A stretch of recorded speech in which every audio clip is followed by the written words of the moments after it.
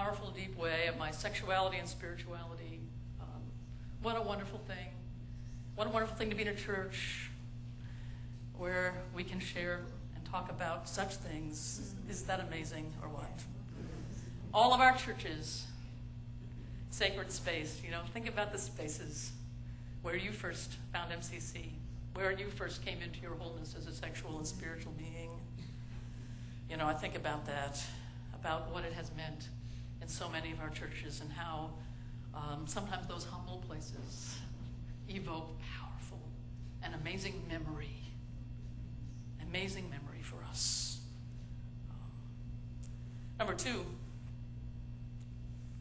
there are solitary spaces, solitary places. Jacob was running away from a very dysfunctional family, from a brother who wanted to kill him, from father who felt betrayed, a mother who conspired. And he went off to a solitary place. He thought perhaps running away from God. And instead ran smack into God in a new way. You know, surely the presence of God is in this place, and I didn't know it, says Jacob. This is truly the gate of heaven. It's the house of God. Uh, you know, we live in a time where it is practically impossible sometimes for us to be alone or solitary.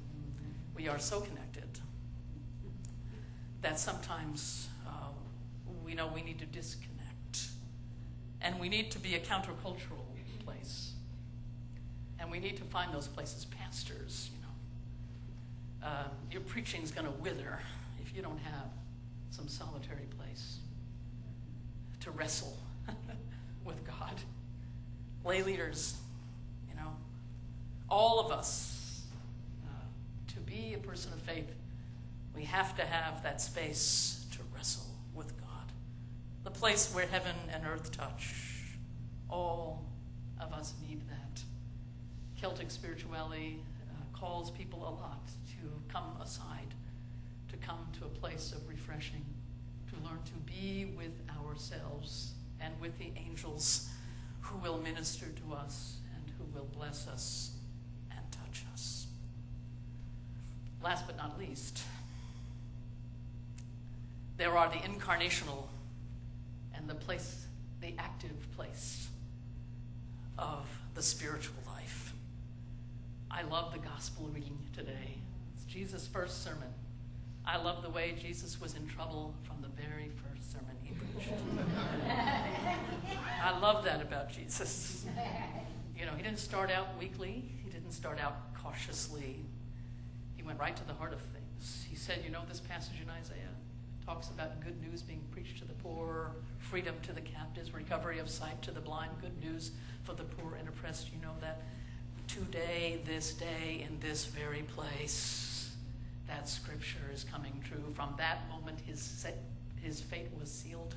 From that moment forward, they were out to get him because he was treading, treading, treading on, on very thin ice there and talking about himself as that incarnation of that amazing prophetic witness. I love it. It's always spoken to me that Jesus identified himself in his ministry from day one with very concrete justice seeking, change history and change the world kind of ministry and message. This was not just something about the head or, or about the heart. It was about the least of these. From the very beginning, Jesus reached past stereotypes and, and everything to the greatest human need that existed. I believe that in our day, MCC is certainly one of those places where the gospel that Jesus took a risk to preach, gave his life to embody, is being fulfilled in your hearing, in your churches, in your communities. Imagine that you lived still in that first generation of an amazing movement that had that is grandiose enough to think we can challenge the church as it has become in our world. Isn't that an amazing thing? What a grandiose vision. What, what are we thinking that we believe we could be this in the world? But, but I believe we're heirs of that promise and of that first sermon that Jesus preached. And you can never stop preaching that sermon uh, for 2,000 years and more. I had an experience two years ago at Easter. I was invited by the White House to the Easter prayer breakfast, and um, that was very exciting. My first time ever to be at a White House Easter prayer breakfast with the President of the United States. Um, they were, it got delayed a bit, and it was on CNN or somebody was, C-SPAN was uh, filming it. All of us milling about in this room for two hours waiting for the president to, to come. And none of us realized that C SPAN was filming it. So you can see me sitting at the table texting Paula. As she texts back, You're on C SPAN. um, a little picture of me saying hi to Joel Osteen and his uh, wife. That was fun. But then we got to sit at our place, and there were little place cards there, you know, the White House and your name. Sitting next to me was the ambassador from the Vatican, which, which I think was some White House staffers' fun that morning, uh, doing that. He was fine. He didn't know what MCC was before he sat down, but now he does. and, and, and, and, we, and we got our picture taken together with the president. It's kind of funny. That's just kind of great. And uh, the president was very gracious, and um, you know, I was a little bit, you know, I was, whoa, you know, thank you, Mr. President. And, and he was introduced, told who I was, and uh, he took his time that day to greet every single person, about 80 of us. Uh, it was a very powerful moment. But you know, when I think about that, uh, something else happened in a 24-hour period. I went to Washington, to the White House, and the next morning I flew to Jamaica, to Montego Bay. And I said, What a life I lead. I'm going to Jamaica. Uh, not for vacation, but for the very first March on Tolerance in Jamaica. And there was Reverend Robert Griffin and Reverend Michael Diaz and Reverend Pat Bumgardner and myself waiting in our hotel uh, for them to come and get us to help lead this march, the very first March for Tolerance for people with AIDS, sex workers, and LGBT people. Uh, something that couldn't happen in our country in the same way. Uh, people who, all of whom experience oppression around sexual and, and, and uh, sexual minority issues. And so there we were. We're supposed to take off at 11, and by 12 o'clock they still haven't come. And finally, 12:30, they come and pick us up to take us to the march. And um, this is in Montego Bay, by the way, where just three years before this, um, a young man who was thought to be gay was pushed by a mob into the sea and drowned. He was one of dozens and dozens of gay activists and leaders and people who were killed or murdered in different kinds of ways. And so here we are with our little MCC group and uh, people, HIV, AIDS, and sex workers and LGBT people, all going to march down the main street of Montego Bay. And as we get in the car, he said, Well, we have 12 people. We said, People? Where's the advance team? Nobody told us this. We get there, there were 50 people by the time we got there. And when we finally stepped off at about 1 o'clock, there were 110 people, led by a band of teenagers who either themselves were HIV positive or whose parents had died of HIV.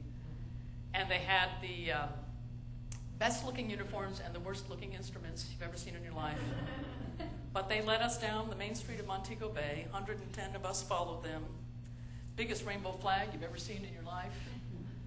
Although, for the most part, people felt like it was most acceptable to be a person with AIDS, then a sex worker, and then a gay person. So a very tall young queen, big, big, big guy, sat next to me and he said, Do you think they'll think I'm a sex worker? we were the only clergy, MCC, walking down in our collars in the midst of this group. And all of the gay people had on masks and on surgical masks, you know, till halfway through the parade. And the band, you know, people were dancing on the sidelines until they kind of, what is this? um, and uh, halfway through, these kids took off their masks. You know. and again handing out flyers and, and uh, coming out and talking to people. And we passed by at least 100,000 people that day. Not one violent action. Uh, I'm not saying there weren't any bad comments at all, but not bad. And you know, we marched right to that place by the sea that that young man was drowned and, and held a rally, had a press conference. People, for the first time in their lives, were on TV in Jamaica. It was an amazing, powerful day. And as fun and exciting the, as the White House was, fun as it was kind of pulling the chain of the ambassador from the Vatican, uh, I have to say, that little parade in Montego Bay, to me, was what I live and breathe and what I believe we were born to do. You know, lots of people are going to go to the White House. Nothing wrong with that. I'm privileged to have that experience, but it can't compare. It can't compare to walking down the street and people seeing ministers, clergy, people from MCC, and saying, okay, there is a church somewhere. There is a faith somewhere that loves me.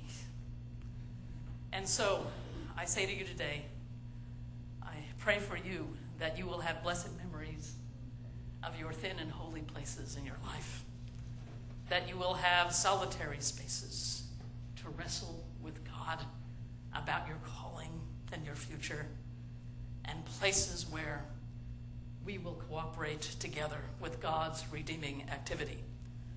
Now, one of my favorite Irish blessings is May you be dead half an hour before the devil knows you're dead. May you be in heaven half an hour before the devil knows you're dead. I messed it up. May you be in heaven half an hour before the devil knows you're dead. And I, you pray that for me. Um, I like that image. But here, uh, a Celtic blessing for us today. The love, and, the love and affection of heaven be to you. The love and affection of saints be to you.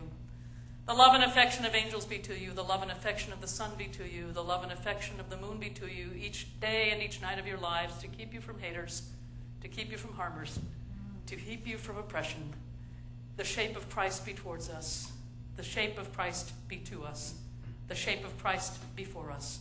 The shape of Christ behind us. The shape of Christ be over us. The shape of Christ be under us. The shape of Christ be with us. The shape of Christ be around us from Monday to Sunday and Sunday to Monday, the shape of Christ be all around us. Amen.